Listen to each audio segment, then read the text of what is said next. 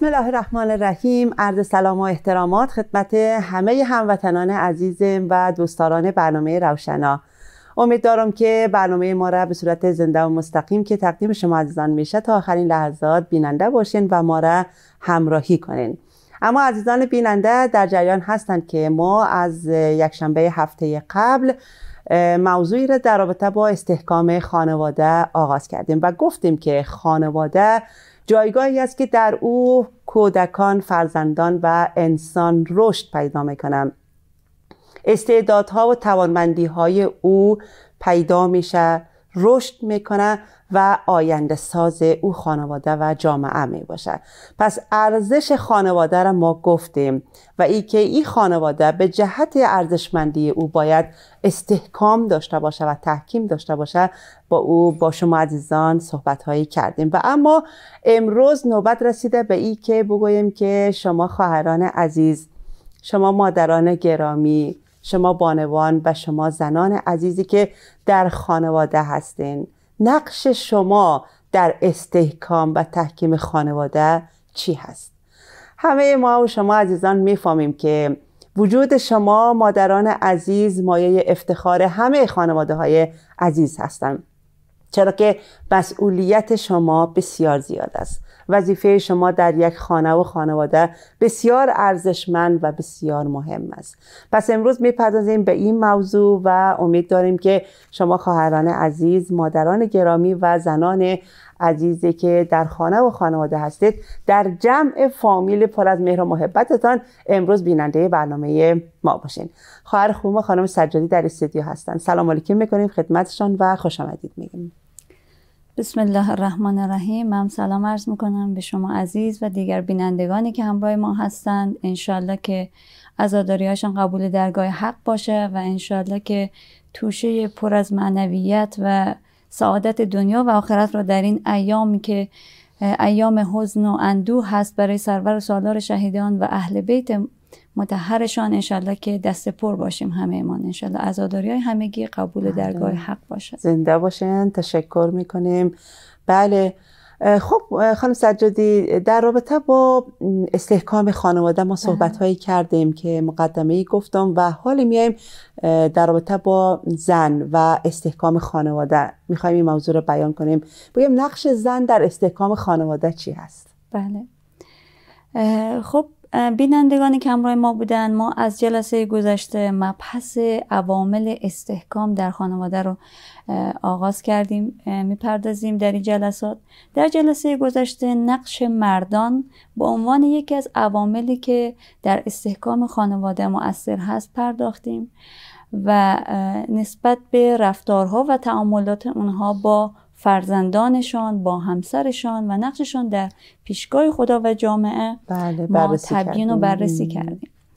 انشالله این جلسه صحبت ما درباره یکی از ارکان تاثیرگذار تربیتی و یکی از ارکانی که زندگی رو مستحکم و پایدار می‌تونه نگه داره از خانم ها در جایگاه همسری و مادری می‌خوایم انشاءالله صحبت داشته باشیم.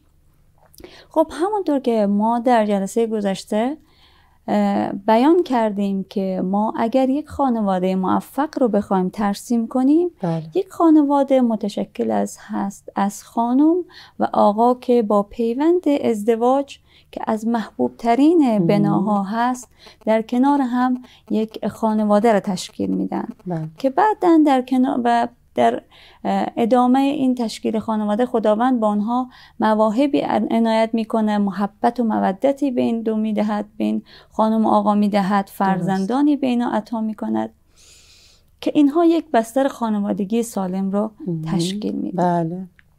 حالا ما همونطور که جلسه گذشته صحبت کردیم گفتیم عزیزان ما که پای برنامه نشیشتند و دارن ما رو می‌بینند یک تکلیف برشان است که شما به عنوان خانم خانواده شما به عنوان مرد خانواده احساس می‌کنید که یک خانواده سالم یک خانواده شاد یک خانواده موفق چه ویژگی هایی داره من نسبت به این که یک عضوی از این خانواده هستم چه نقش هایی رو دارم؟ برای که بتونیم یک خانواده سالم داشته باشیم چه نقش داریم ما؟ بله که متوجه باشیم که من چه جایگاهی دارم. درست. این که اگر نگاه کنیم بیشتر مشکلات رفتاری و اخلاقی که بین زوجین بین خانواده ها گزارش میشه یه که میگه او هیچ نمی‌فهمه که مرد خانه است یا او هیچ نمی‌فهمه که خانم خانه است. بله. من به دنبال آرامش هستم. من کوشش و تلاشم برای همیست که اینا شاد باشن.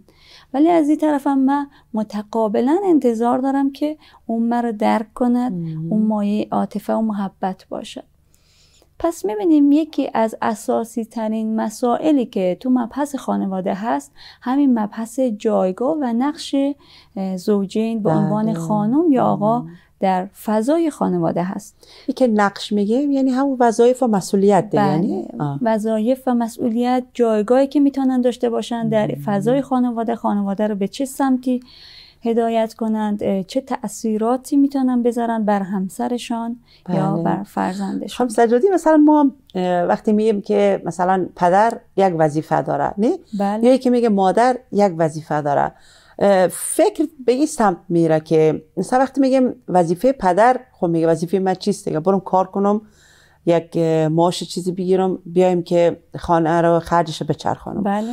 یا وقتی که مادر وظیفه میگه خب وظیفه من چیست؟ دیگه برم دیگ و کاسه کنم اون جمع و جمع کنم تو کارا کنم. صفاکاری کنم. درست است؟ مثلا بله. اکثر عمده ای که پدر و مادر وظایف خودشون در نظر می‌گیرن فکر می‌کنن صرف همین چیزاست. بله. بسیار قابل تعمل است که که شما گفتیم ما جلسه گذشته هم اشارت داشتیم که وقتی می‌گوییم که نقش پدر نقش بله. مرد خانه دلیل بر این نیستش که صرف مسئولیت باشه بر عهده او آقا و خانم هیچ مسئولیتی در قبال این امر بله. نداشته باشه که تمثیلش هم زدیم که اگر مرد عهدهدار نفقه پرداخت معیشت منزل تهیه مسکن خوراک پوشاک اولادار داره دلیل بر این نیست که خانم کوتاهی کنه و بگه که خب من هیچ وظیفه نیست بلکه تدبیر امور منزل بر عهده خانم می‌تونه باشه مدیریت اقتصادی می‌تونه داشته باشه. خب پس نگاه ما نسبت به مسئولیت نسبت به جایگاه هر کدوم از بله. خانم آقا نگاه انحصاری نیست. ای که در کنار همسرش می‌تونه کمک کننده باشه. یعنی که اگر ما انتظار داریم که خانم بنا به ویژگی خلقتی که خداوند بر نهاده و عاطفه و محبت و آرامش رو از ویژگی شاخص خانم ها هست و این رو ما انتظار نداشته باشیم که آقایان ویژگی رو نداشته باشن. بله. همونطور که جلسه گذشته ما پرداختیم که آقایان نقش مهرورزی و محبتشان در رشد خانواده چقدر می‌تونه موثر باشه. بله. خب نگاه اسلام و قرآن و روایات نسبت به خانم چگونه هستش؟ باید بپردازیم. مخصوصا که در جامعه الان که همگی برایشون شاید سوال شده باشه که چرا خانم ها یک نگاه پایینتر و پستری نسبت به خانم ها شده. بله. آیا اسلام چنین نگاهی را دارد؟ ببینید ما در آیات بسیاری ذکر شده که وقتی که درباره ویژگی صاحبان خرد اول الباب صحبت میشه در آیات و روایات و بعد میگه که اول الباب چه کسانی هستند؟ اینکه توی قرآن آمده من ذکرن و انسا از مرد و از زن. بله. اگر پاداش قرار هست داده بشه به صاحبان خرد به هر دویشان هست و هیچ کوتاهی ما نداریم. ببینید در نگاه اسلام و قرآن زن و مرد جایگاه یکسانی دارند از لحاظ خلقت از لحاظ بله. یکی از اینکه از یکی از مخلوقات خدا هستند یکسان هستند. درست است که یک سری ویژگی ها شاخصه های آقایان هست یک سری ویژگی ها شاخصه های خانم ها هست بله بله. اینکه این وظیفه تدبیر بیرون منزل حاکمیت بر خانم ها بر عهده مردان اگر گذاشته شده به خاطر اینکه سرپرستی و کفالت خانواده بنا به ویژگی های ساختاری مردان چه به بله. لحاظ جسمی چه به لحاظ اجتماعی چون اینها خداوند طوری خلق کرده که مسئولیت سرپرستی خانواده داشته باشن. این تفاوت های ویژگی خلقت مرد و زن ایجاب می‌کنه که یک سری وظایف بر عهده مرد باشد یک سری وظایف بر عهده زن باشد بله. یک سری سرپرستی ها بر عهده مرد باشد ام. یک سری تامین کنندگی ها بر عهده خانم. باشد ولی دلیل بر برتری مردان آه. بر زنان نیست نیستش و یه تقسیمات هم خب بر اساس روحیه زن و مرد ساخته شده دیگه که بله. صحبت شده در این موارد بله زیاد. بله بنا به ساختار وجودی خانم ها و بله. آقایان هستش. و در روایات و در آیات هم ذکر شد که خانم و آقا برای هم به منزله لباس هستند. بله. هن لباس لکم و انتم لباس لهن. یک لباس برای ما چه نمودی میده؟ شما نگاه کنید یک کالا به جان می‌کنید می‌بینید چه مقبوله. بله. و که یک کالا چقدر مراقبه می‌کنه که هیچ خدشه وارد وارد نشه کدام اه، ناپاکی برش نیاید درست. پس جایگاه خانم ها هم برای آقایان یک جایگاه زینت بخشی هستش. اینکه یک جایگاهی است که برای آقایان باعث حس غرور و افتخار میشه. همونطوری که آقایان باید برای خانم همان گونه باشن. پس سعی کنیم که اگر که ویژگی لباس برای ما تشبیه شده لباس چه حکمی داره؟ ما را از سرما و گرما محافظت بله. می‌کنه. میپوشانم ما را میپوشانه عیب های ما را استتار و پنهان می‌کنه بله. پس ما هم اگر در مقام همسر قرار گرفتیم اگر خانومی یا آقایی برای هر دویشان اگر که قرار شد ازدواج کنند با کسی مهم. مانند لباس باید باشند. عیبهای همسر را نباید برن به خانه فامیل خیشا. پخش کنند. باید پوشاننده باشه. درست. باید حس امنیت و آرامش به همسرش بله. بدهد.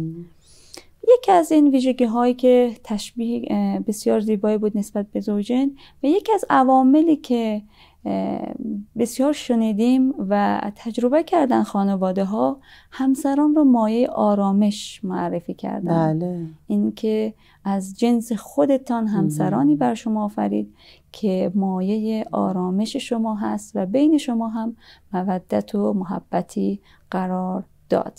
پس این رو نگاه کنیم که این مایه آرامش چه وقت میشه که از حالت آرامش بخشش خارج میشه؟ درست. بله. اگر ما نگاه نکنیم که این خانم یک روحیه لطافت داره.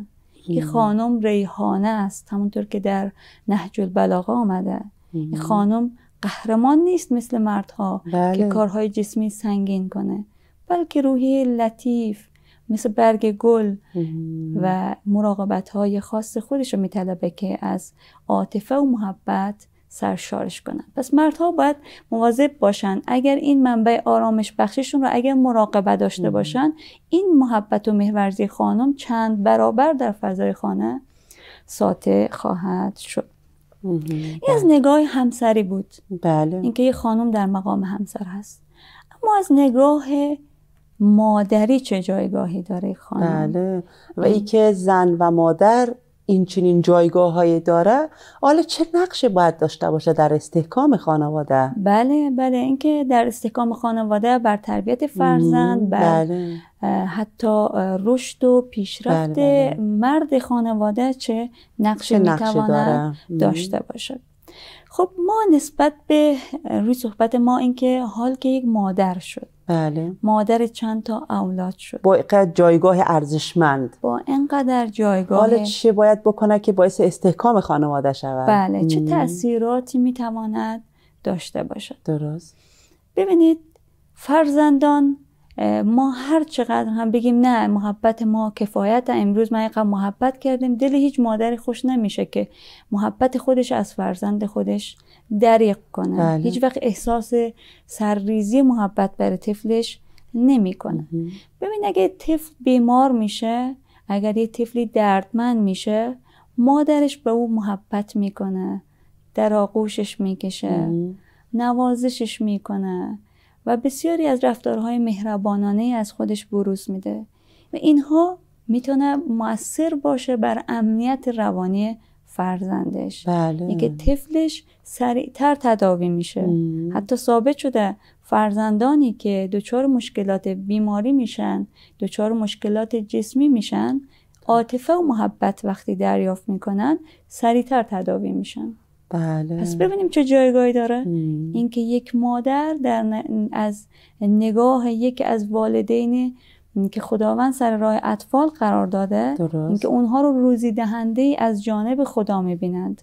آنها رو نمایندگانی از جانب خدا می‌بینند. بله. این فرزند سریع تداوی میشه. پس یعنی با وجود مهر و محبتی که یک مادر داره بله. او را نسبت به فرزندان خودش بله. ابراز می‌کنه و اونا را غرق محبت خودش می‌کنه. بله. و این چنین است که می‌تونه باعث استحکام بیشتر خانواده شود. بله. بسیار عالی. حتی گزارش شده فرزندانی که در پرورشگاه عاطفی بودند در پرورشگاه بودند و مهر و محبت مادری دریافت نکردن خب اینها به لحاظ سلامت روانی و اخلاقی دچار مشکلات خاص خودشون شدن. بله. پس یکی از ارکان تاثیرگذار بر استحکام خانواده همین عامل مهرورزی و محبت مادران هستش. بله. محبت درمانی بگویم چطور؟ بله محبت درمانی دیگه. همطور که ما شنیدیم از محبت خارها گل می شود بله دقیقا همینطور است. همینطور است. فرزندان در کانون مهر خانواده مخصوصا در کانون مهر مادری بله. دور میشن از هر کدام یکی از رفتارهای ناشایسته که قرار است بعدا از آنها بروز پیدا کنه.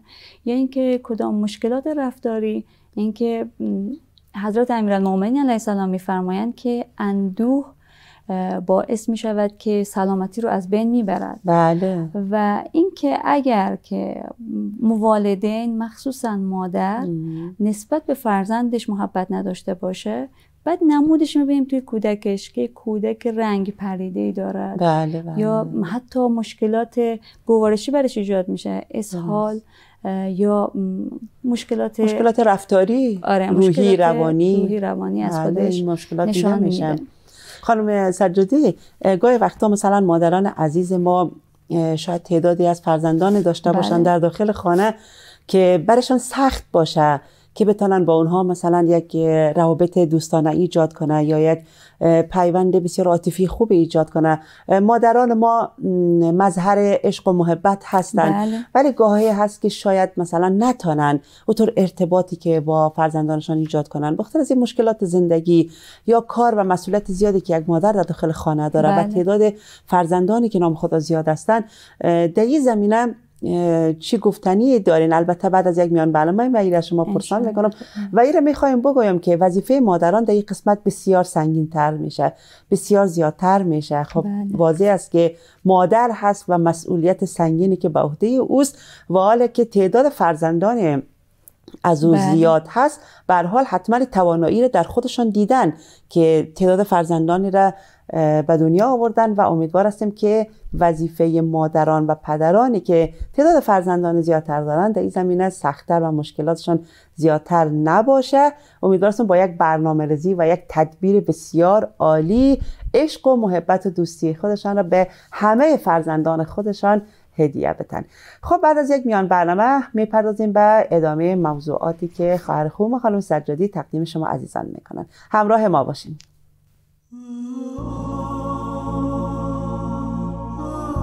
از آن زهره بخون نشسته چهل روز گذشت. از آن روزی که صدای العتش کودکان دل را پاره می کرد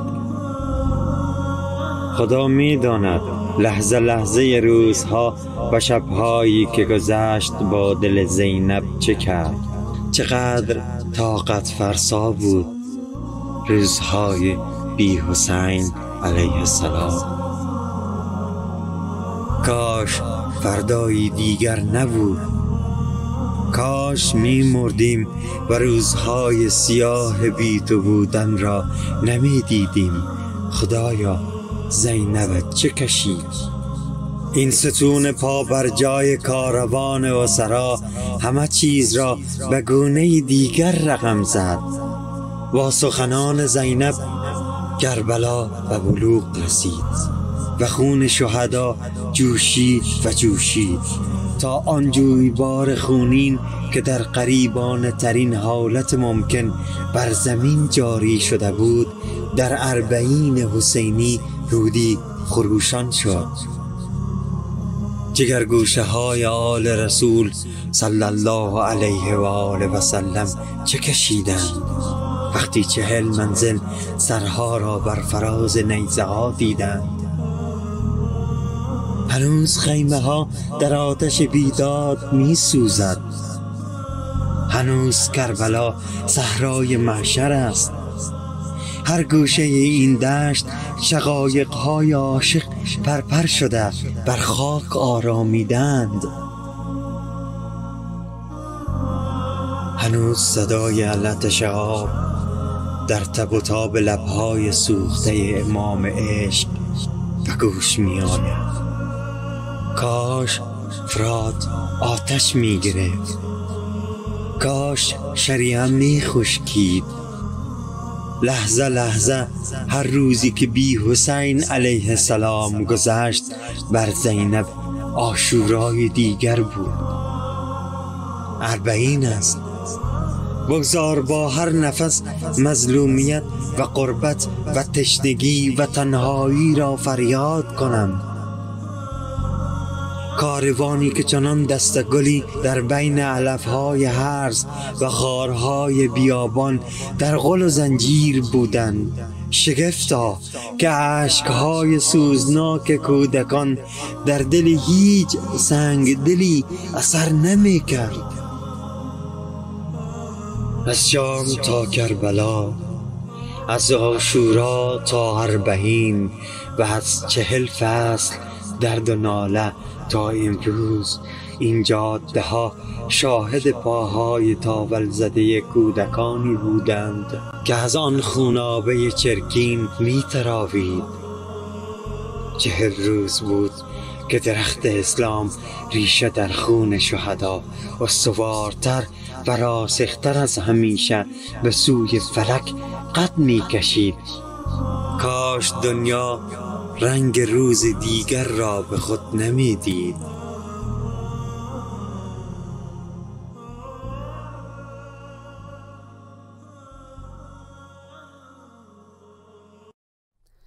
خب عزیزان بیننده شما بیننده برنامه روشنا هستند که به صورت زنده و مستقیم تقدیم حضور شما میشه. اما نمبر واتساپی ما مثبت 964 780 255 40 13 همراه ما در ارتباط باشین می‌تونین سوالات انتقادات پیشنهادات و هر گفتگویی که دارین می‌تونین از این طریق با ما در ارتباط باشید ما بسیار خوشحال میشیم که صحبت های گرم شما عزیزان را بشنویم.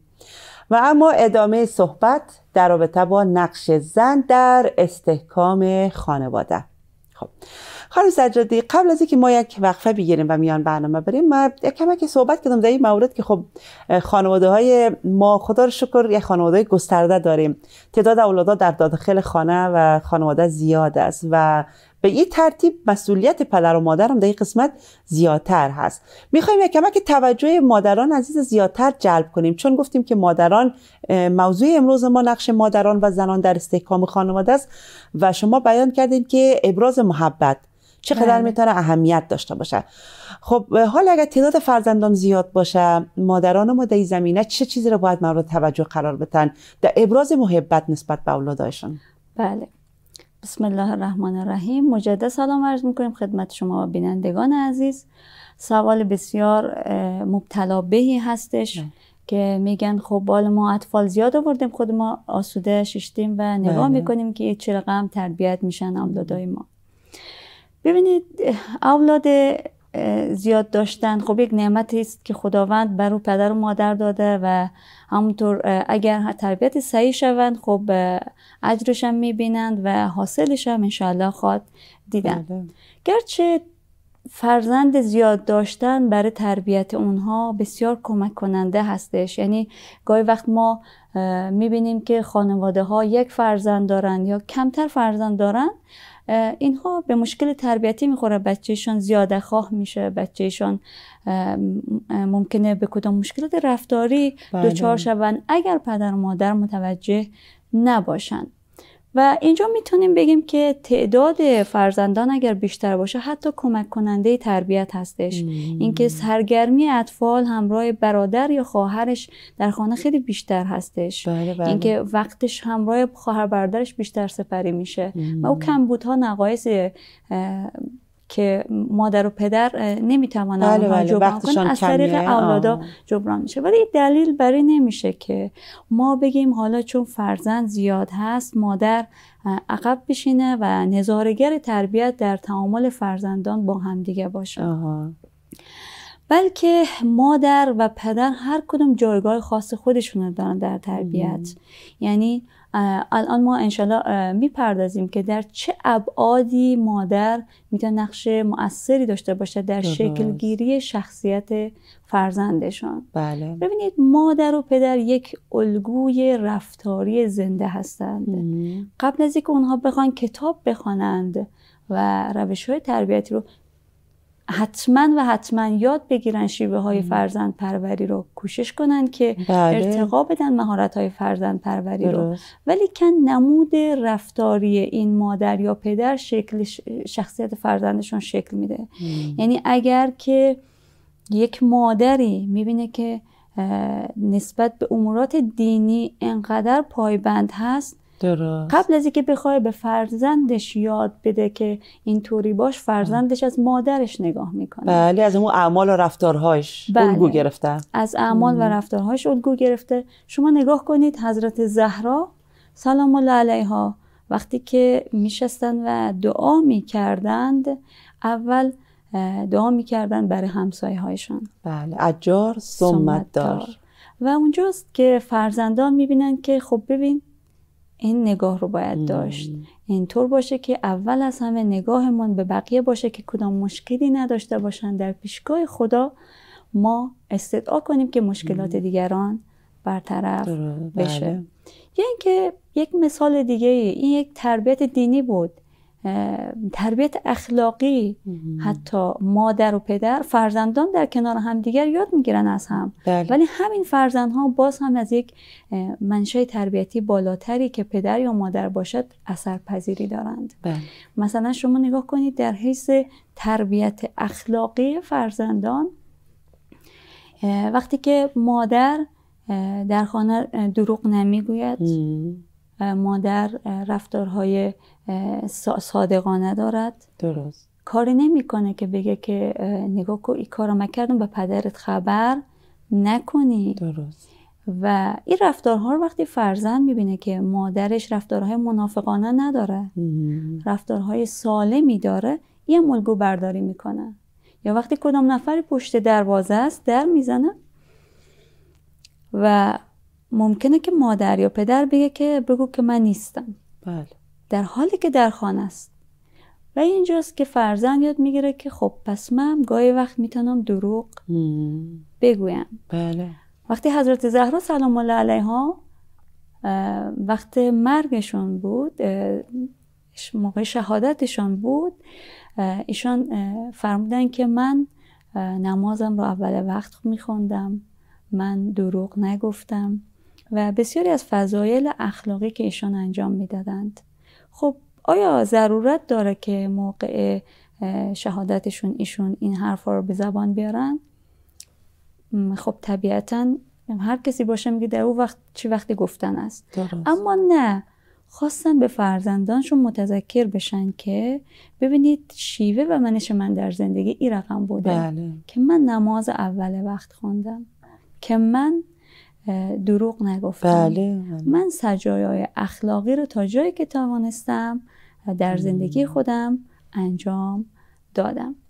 پس یکی از نقش ها و اثرات بسیار بالای مادر بر فرزندان یکیش همین تربیت دینی بود. درست. یکیش همین تربیت اخلاقی بود که فضایل اخلاقی و رضایل اخلاقی در نمود رفتاری پدر و مادر باعث میشه که فرزندان الگوگیری کنند. درست. و خود این باعث استحکام خانواده میشن. بله باعث میشه. خب شما اگر نگاه کنید اگر مادری یاد بده که به فرزندش یاد نده در رفتارهای خودش مثلا یک دروغی بگوید در یک موقعیتی. بله. خب فرزند خودش هم یاد می‌گیره که من هم یک گاهی وقت دروغ بگویم. درست. خب این دروغگویی فردا روز ببینی کدام مشکل رفتاری رو انجام دقیقا. میده اینا همه همون مسائل های تربیت های اخلاقی است که متاسفانه گاهی وقتا نادیده گرفته میشه. پس فرزندان دچار این موزلات و مشکلات میشه. بله. و او روز باز میگن که چرا اولادای من مثلا این قسم رفتار می‌کنن بله. یا این قسم مسائل های اخلاقی رو چرا نادیده می‌گیرن؟ خب این برمیگرده به همون موضوعات الگوگیری که فرزندان ما از والدین دارن. بله دقیقا. یا من یک تمثیل بسیار زیبایی از یک وزیر و پادشاهی بود که این بسیار ثروت و مکنت داشت خیلی شکوه و عظمت داشت در زمان خودش.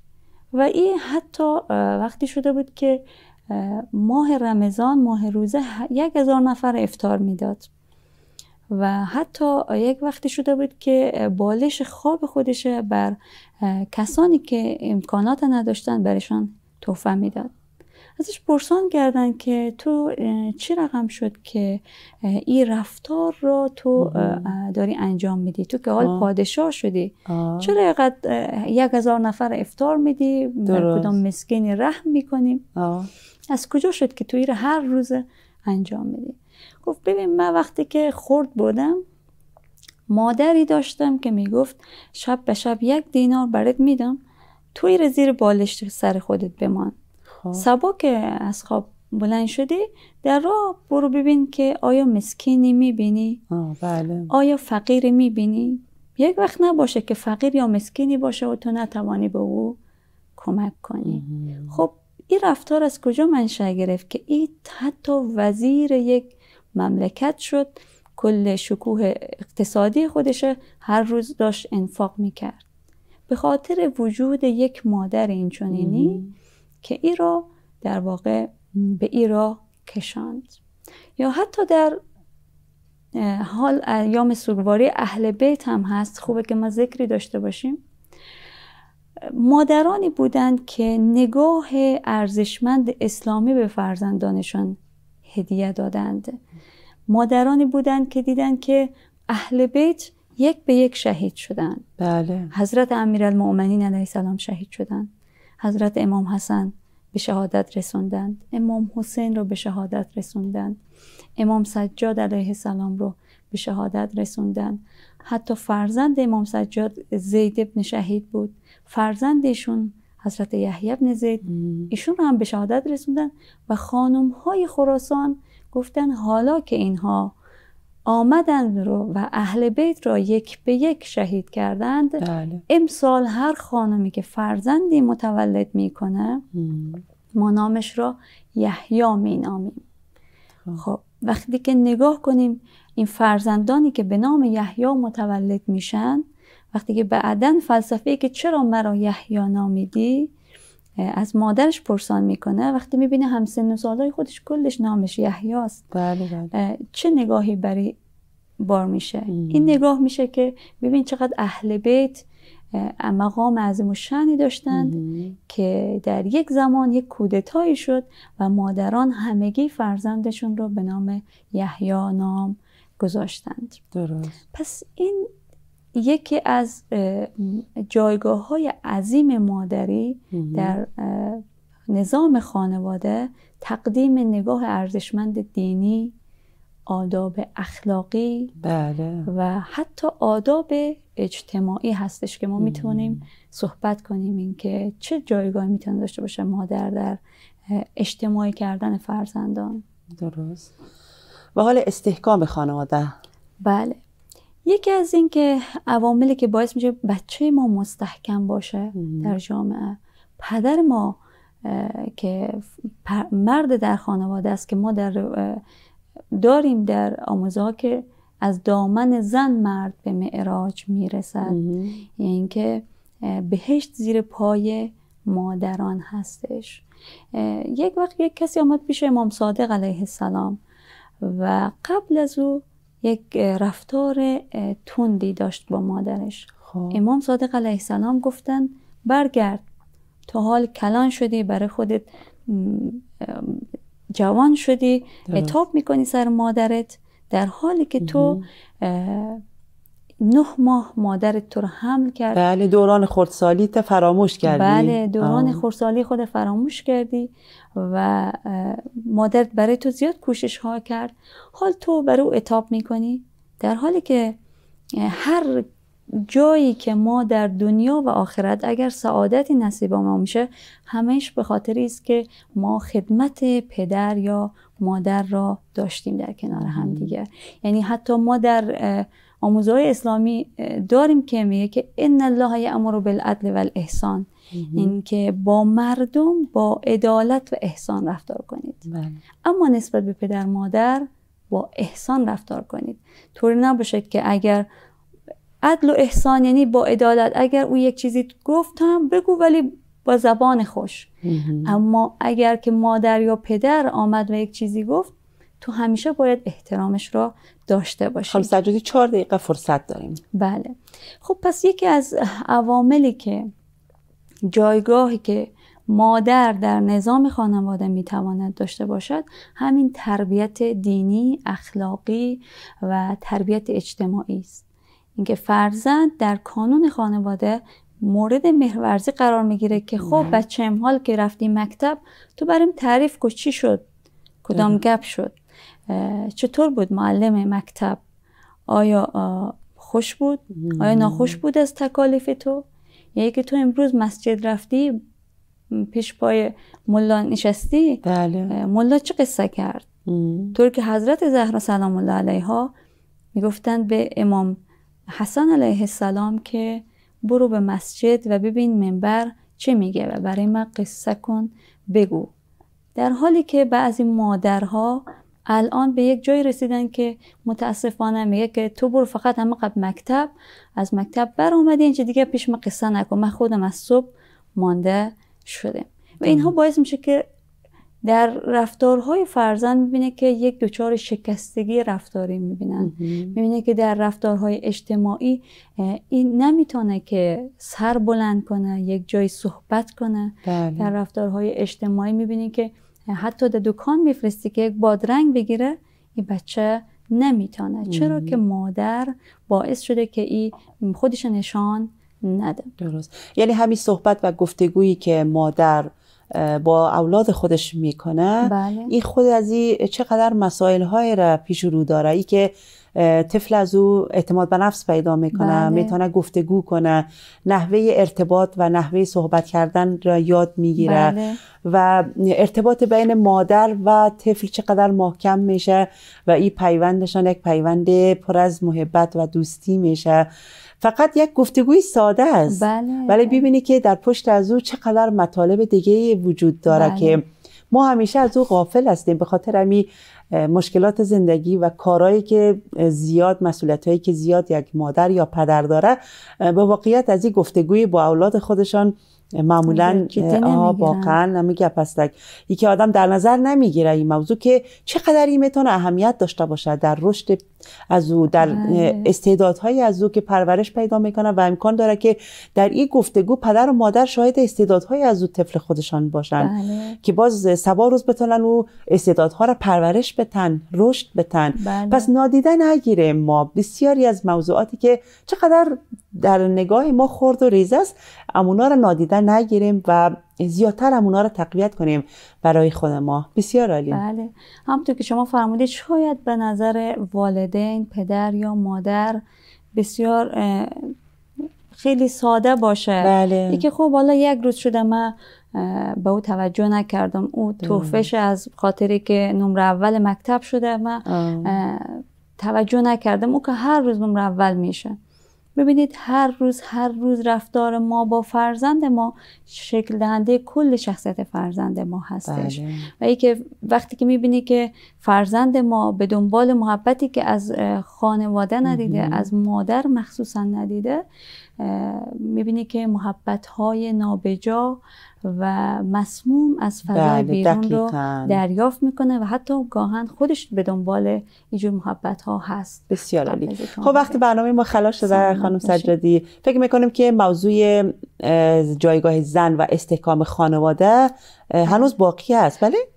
تقریبا یک مقدار باقی مانده. انشالله جلسه آینده نسبت دیگر. به نقش فرزند بر استحکام خانواده و در فضای خانواده انشالله صحبت خواهد یک شد. مروری هم در رابطه با جایگاه بله، زن و نقش. زن در استحکام خانواده هم بله، خواهیم داشت.